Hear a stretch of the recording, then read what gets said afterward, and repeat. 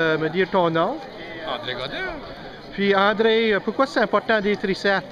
C'est important d'être ici parce que le traité de Paris a été signé en 1763. À ce moment-là, on pensait que les Acadiens seraient au cours de la Réjouissance.